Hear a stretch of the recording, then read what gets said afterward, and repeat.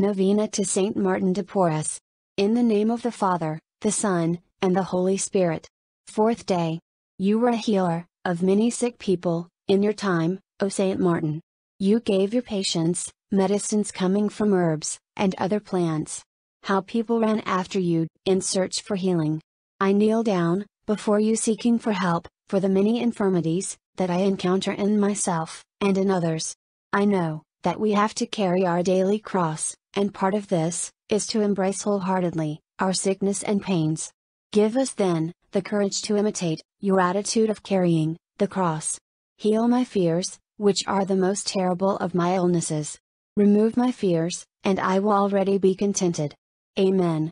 Daily Prayer O compassionate God, you have given us, Saint Martin de Porres, as a model of humility, mortification, and charity.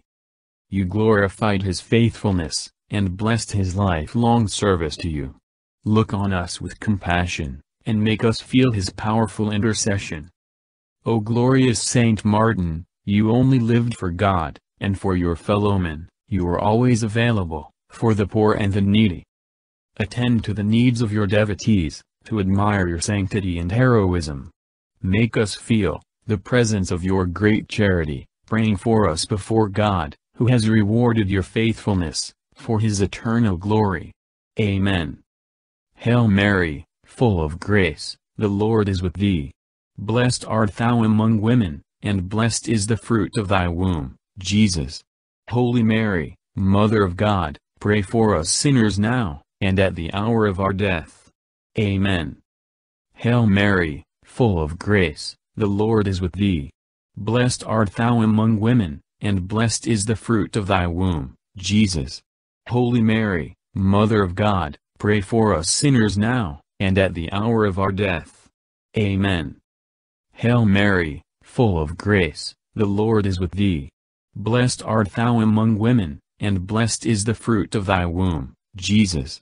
Holy Mary, Mother of God, pray for us sinners now, and at the hour of our death. Amen.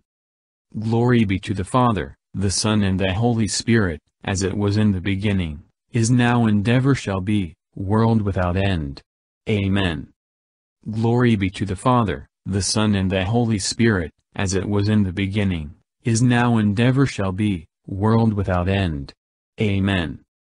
Glory be to the Father, the Son and the Holy Spirit, as it was in the beginning, is now and ever shall be, world without end. Amen. Saint Martin de Porres, please pray for us. In the name of the Father, the Son, and the Holy Spirit. Amen.